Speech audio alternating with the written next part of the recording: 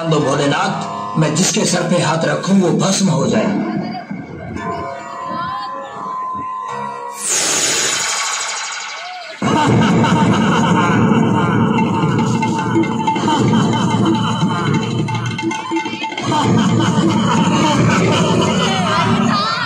जी भोलेनाथ जी ने इस मूर्ख असुर भस्मासुर को वरदान देकर संकट पैदा कर लिया है। अब भोलेनाथ को इस संकट से कैसे बचाया जा सकता है? हम्म, विष्णु जी इसका एक ही उपाय है। आप एक सुंदर नारी का रूप धारण करके जाइए और भस्मासुर की बुद्धि भ्रष्ट करके उसका अंत करें। तभी शंकर जी इस संकट से बच पाएँगे। ठीक है ब्रह्मा जी मैं अभी जाता हूँ।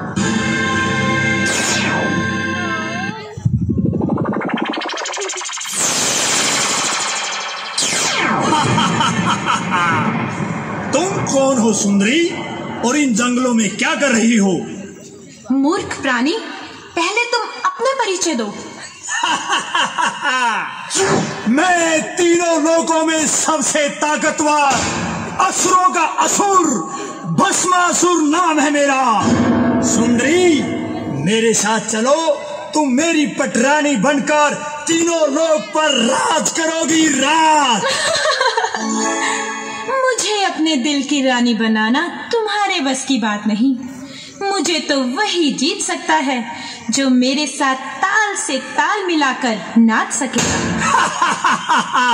अच्छा तीनों लोक में मुझ जैसा ताकतवर और मुझ जैसा डांसर कोई नहीं सुंदरी तुम्हें जीतने के लिए मैं कुछ भी कर सकता हूँ। किंतु पहले ये बताओ सुंदरी कि तुम हो कौन? हु आर यू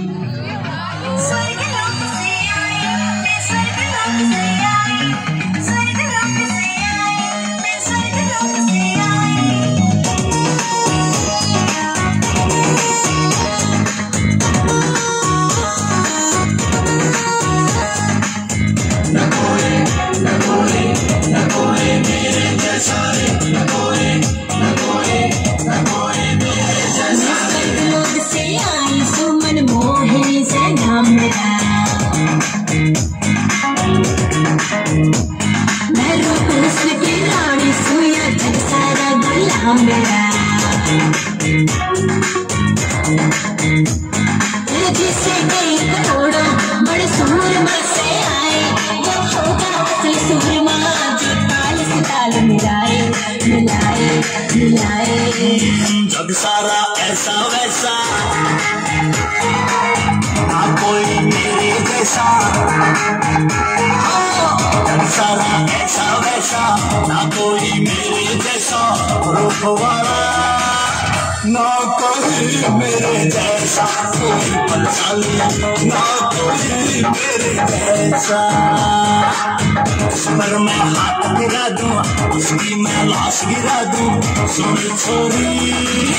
एक बरतों पर दे इशारा तू आड़े, ना कोई मेरे जैसा।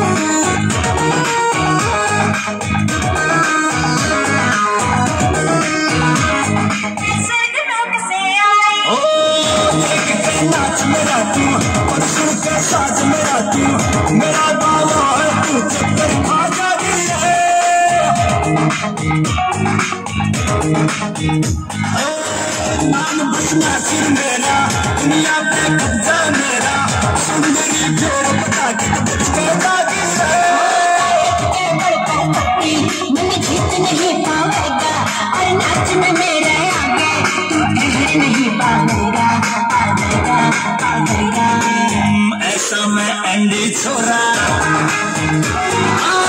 देख तू मेरा ढिढोरा ना मैं एंडी छोरा देख तू मेरा ढिढोरा सुने गोरी। रूप तेरे मन आज तू पाड़ी ना कोई मेरे जैसा सारा ऐसा वैसा, ना कोई मेरे जैसा रूप वाला। ना कहीं मेरे जैसा कोई बलशाली ना कोई मेरे जैसा।